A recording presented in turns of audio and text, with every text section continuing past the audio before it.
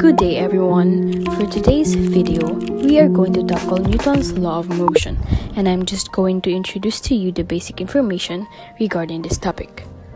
There are three laws in laws of motion. First law states that everybody remains in a state of rest or uniform motion unless acted upon by external net force. So basically, an object will keep doing what it was doing unless acted on by an unbalanced force.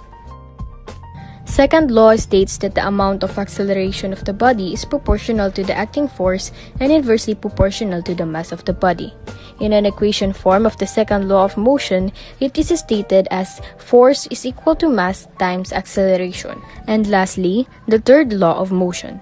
In every action, there is an equal but opposite reaction. If an object A exerts force on object B, then object B will exert an equal but opposite force on object A.